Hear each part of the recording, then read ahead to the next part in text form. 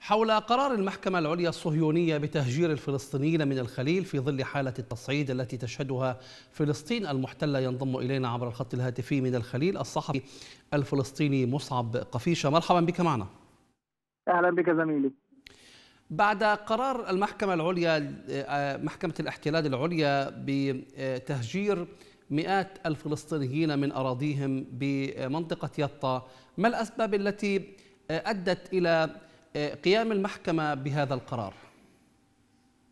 يعني هذا القرار يحاول الفلسطينيين وبشكل أخص أهالي يعني مدينة محافظة الخليل وقف هذا القرار منذ 40 عام على الأقل. يعني الاحتلال وضع عينه على أكثر من 7400 فدان من الأراضي الزراعية الواقعة في ملكية خاصة وسماها بأنها منطقة إطلاق نار وتدريبات عسكرية. آه ثم يعني خلال عمليات آه الأخذ والرد والمحاكم أعلن بشكل رسمي آه السيطرة من خلال المحكمة العليا الإسرائيلية بأنه رفض التماس المقدم ل 12 تجمع سكني في مسافر يافا. هذا القرار يعني يعتبر ضمن المخطط الإسرائيلي المستمر بقدم الأراضي الفلسطينية وقدم أراضي الضفة الغربية بشكل مستمر. وأيضا يأتي في قرار هذه هذه المحاكم التي تدعي أنها محاكم قانونية وحقوقية وعادلة بينما تحرم أكثر من 1200 فلسطيني من اهالي مسافر يافا أراضيهم.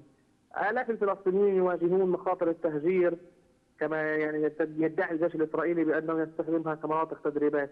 نحن نتحدث اليوم عن أكثر من 650 ألف إسرائيلي متطرف يسكن بأكثر من 130 مستوطنة، يعني ماذا بقي بصراحة؟ ماذا بقي من اراضي الضفه الغربية؟ لم يبقى شيء. نعم. لم يبقى الآن سوى كنتونات في بعض مدن الضفة الغربية. وأيضا هي أيضا مهددة بالسيطرة وبالضم. وكل ذلك على مرأى ومسمع من العالم العربي والإسلامي والدولي دون أن يحرك ساكنا. نعم. بناء على ذلك كيف تبدو أحوال العائلات الفلسطينية المهددة بالتهجير من تلك المناطق والتي تحيطها من جهة مستوطنة صهيونية ومن جهة أخرى منطقة عسكرية؟ يعني بالتأكيد هؤلاء الأهالي يدافعون عن مناطقهم ويدافعون عن أراضيهم. بالاستمرار بوجودهم بالاستمرار بعمليات بناء بعض البركسات وبعض الخيم وبعض العرش من أجل الحفاظ على أرضهم ولكن نحن نتحدث للأسف عن عدم وجود أي دعم لا رسمي ولا شعبي ولا حقوقي ولا دولي من أجل استمرار صمود المواطنين في أرضهم. للأسف يعني أنا دولة الاحتلال نتحدث عن دولة بكل الطاقة والطاقم والقوة والسيادة والسيطرة تواجه الفلسطيني الأعزل لوحده في أرضه.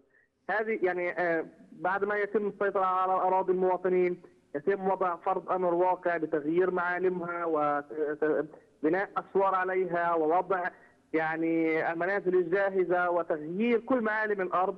بينما الفلسطيني للأسف يبقى لوحده في في أرضه بدون دعم رسمي بدون دعم شعبي حتى للأسف يعني المطلوب من السلطة الفلسطينية وهيئه مقاومة الجدار والاستيطان أن أن تقف مع الفلسطيني بشكل أكبر في أرضه وأن تدعمه وأن تحرك قضيته في المحافل الدولية. على ماذا يعول الأهالي في تلك المنطقة ولا سيما أن بعض المناطق في في الضفة الغربية نجح فيها الأهالي بإفشال بعض مخططات الاحتلال لبناء بؤر استيطانية أو محاولة اقتلاعهم من تلك المناطق، ما المطلوب من أجل زيادة يعني تصدي الأهالي هناك للمستوطنين وقوات الاحتلال؟ يعني كما قلت لك يتصدى المواطن الفلسطيني للاستيطان لوحده للأسف آه وأيضا المطلوب دوليا وشعبيا ورسميا آه الوقوف آه بصف المواطن الفلسطيني وذلك من خلال تحريك القضايا الدولية ورفع قضايا الأمم المتحدة ورفع قضايا دولة الاحتلال وأيضا تحريك المقاومة الشعبية والمقاومة السلمية والاستمرار بعمليات الصلاه بالاراضي وأيضا إنشاء مسارات سياحية من أجل تعريف المواطنين بأرضهم تكثيف التواجد الفلسطيني في هذه الأراضي. كل هذه يعني خطوات على طريق حماية وصمود الفلسطيني في أرضه. ولكن الحقيقة إذا لم يكن هناك قوة تحمي الفلسطيني في أرضه إن لم يكن هناك دولة يعني بإن صح التعبير بسياده وبأجهزة أمنية وبقوة لا يمكن للفلسطيني أن يقف لوحده في وجه هذه دولة الاحتلال. نعم. أشكرك جزيلا الصحفي الفلسطيني مصعب قفيشة كنت معنا عبر الخط الهاتفي من الخليل